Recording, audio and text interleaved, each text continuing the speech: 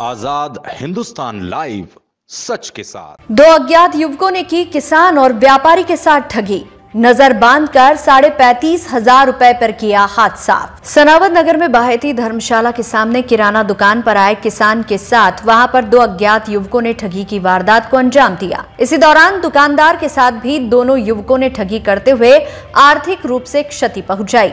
दुकान संचालक कल्याण माहेश्वरी ने बताया कि गुरुवार दोपहर चार बजे अपनी दुकान पर बैठा हुआ था। तभी दुकान पर ग्राहक आनंद राम चौधरी विजय के लिए चने लेने के लिए आए।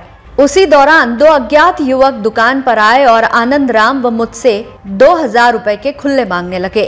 वहीं दोनों युवकों ने नज़रों को बांधकर किसान से बाईस हज़ार और मेरी दुकान से ग्यारह हज़ार पाँच सौ रूपए की ठगी कर ली। वहीं कुछ समझ नहीं पाया और दोनों युवकों ने कब वारदात को अंजाम दे दिया। किसान आनंद राम चौधरी ने बताया कि दोनों युवक जिद करने लगे और पैसे दिखाने की मांग करने लगे। जबकि वह 2000 के खुले लेने आए थे। और हमने नहीं कहा, उसके बाद भी दोनों ज़बरदस्ती कर रुपए दिखाने की बात कर रहे थे। जैसे ही मैंने बाईस हज़ार रूपए दिखाए, उसमें से दोनों युवकों ने नज़रें बाँध कर रुपए की गड्डी साफ़ कर दी। वही मैं कुछ समझ नहीं पाया। दोनों ने नज़र को बाँध कर घटना को अंजाम दिया। वही दोनों लड़के जब यहाँ से चले गए, उसके बाद हम समझे की हमारे साथ घटना घटित हो गई वहीं इसके बाद पुलिस को बुलाया।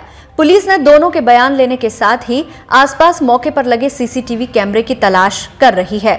जाँच अधिकारी नरबत सिंह ठाकुर ने बताया कि किसान एवं दुकानदार के साथ हुई घटना के बाद आसपास के इलाके में दोनों युवकों की तलाश की जा रही है।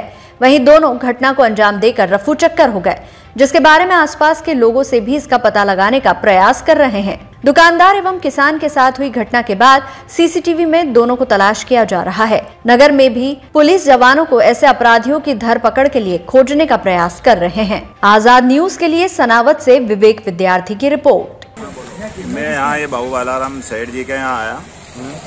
तो एक बाहर के कोई लोग आए हुए थे और वो एक उनसे कोई चना वना ले रहे थे। मैं भी आया कि भाव पूछने के लिए। और अपने यहाँ भाई के यहाँ भी शादी है तो ज्वार वार का कट्टा भी चाहिए था तो मैंने तो सेठ जी से उन्होंने चने लिए एक किलो और उनसे बोले, यार 2000 का नोट दिखाओ यार, हमको 2000 का नोट कैसा होता है? वो बोले दूसरी भाषा में। तो वो ऐसे उलझाने के चक्कर में, ये नोट दस का क्या हो ये पाँच का क्या, इसको क्या बोलते हैं? ऐसा मतलब वो उलझा रहे थे और फिर बोले, दो हज़ार तुम्हारे पास क्या दिखाओ। तो मैंने कहा, मेरे पास है नहीं। मैंने साफ़ मना कर दिया। उसके बाद में न जाने मालूम उसके पास ऐसा क्या केमिकल है क्या है कि आदमी को एकदम न्यूट्रल कर देता है। बोले पैसे तो दिखाओ।